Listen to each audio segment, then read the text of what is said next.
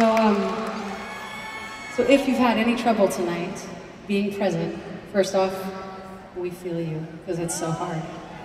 But just right here, right now, this this song, these few minutes, let's focus on this moment and just just live in it together. All right?